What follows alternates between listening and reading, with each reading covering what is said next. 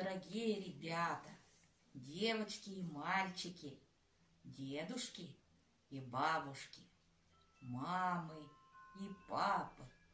Поздравляю вас всех с Новым годом! Не болейте, живите все дружно и счастливо. А девчонки и мальчишки, не забывайте про книжки.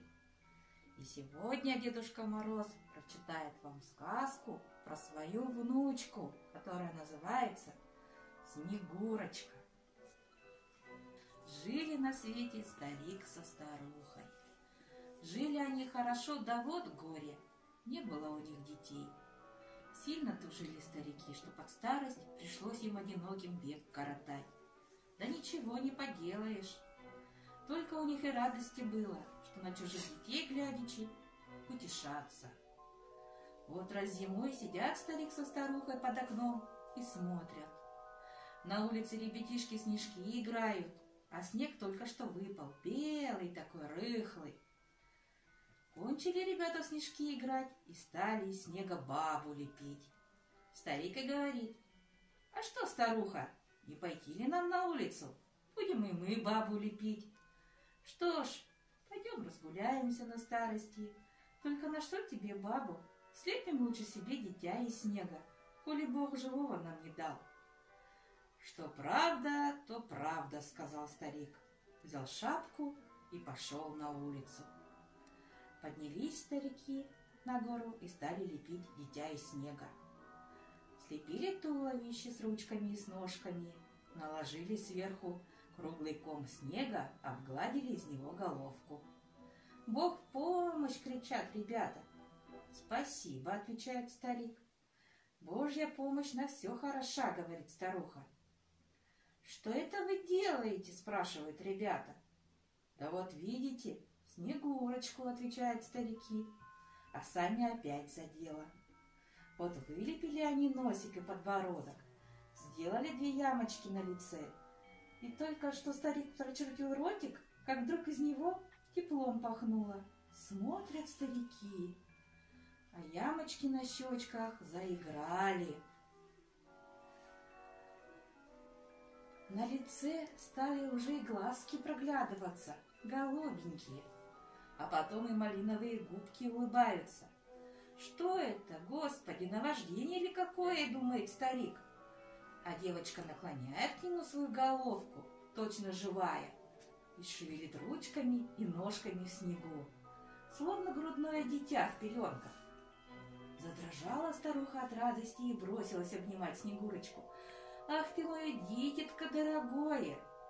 Обняла старуха свое нежданное дитя и побежала с ним в избу. Растет Снегурочка не по дням, а по часам и что ни день, то все краше становится.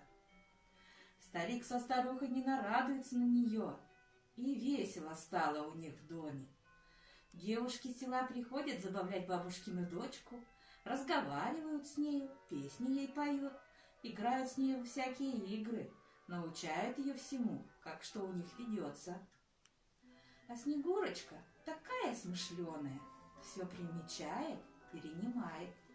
И стала она за зиму, точно девочка лет тринадцати. Все разумеет, обо всем говорит, и таким сладким голосом, что заслушаешься. А с собою она беленькая, как снег, глазки, как незабудочки, светлорусая коса до пояса. Одного румянца только нет вовсе, словно живой кровинки в теле нет. И все-то не наливуются на Снегурочку. Старушка же в ней и души не чает. «Вот», — говорит она мужу, — «даровал-таки нам Бог радость на старость». Прошла зима, заиграло на небе весеннее солнце, пригрело землю. По проталинам зазеленела травка и запел жаворонок. Стали красные девицы хороводы по селу водить, да песни петь а Снегурочка что-то скучна стала. «Что с тобою, дитя мое?» — говорит ей старуха. «Не больна ли ты?» А Снегурочка отвечает ей всякий раз. «Ничего, матушка, я здорова». сошел последний снег. Зацвели сады и луга, запел соловей и всякая птица, и все в Божьем мире стало живей и веселей. А Снегурочка еще сильнее скучать начала. Все прячется от солнца в тенечек. Только дождик и сумрак она веселей становится.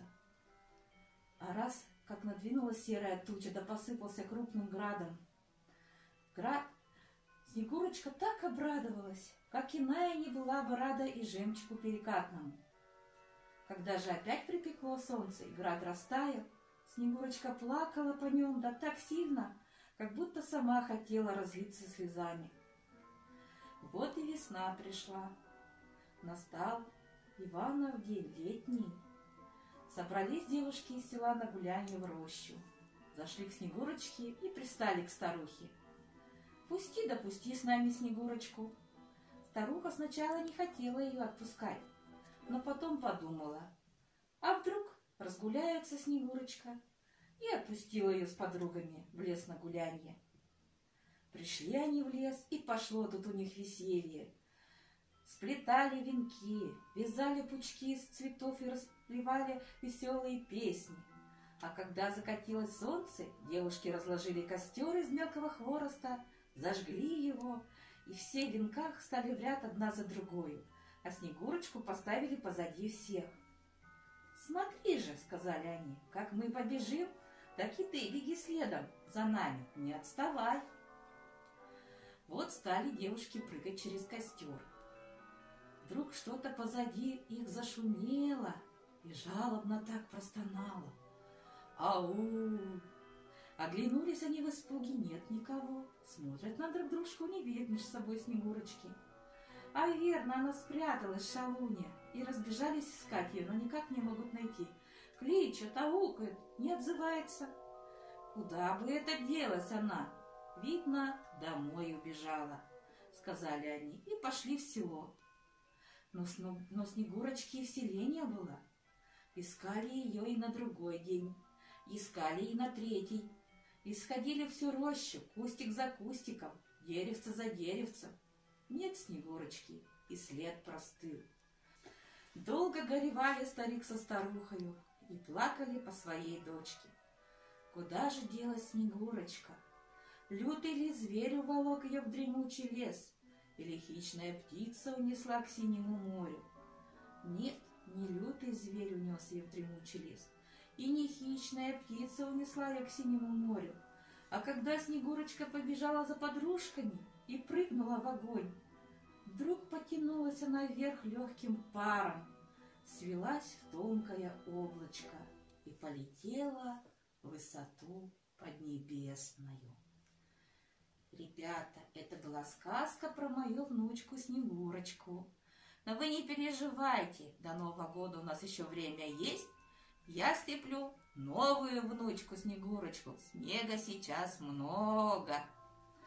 А вам, ребята, хорошо отпраздновать Новый год в кругу семьи. Поводите дома с родителями, с дедушками, с бабушками хороводы вокруг елки. Не забудьте прочитать стихотворение. Ну, а я уж для вас подарки под елку приготовлю. Конечно, наверное, я думаю, что под елочками будут детские замечательные книжки. С Новым годом, ребята! С новым счастьем!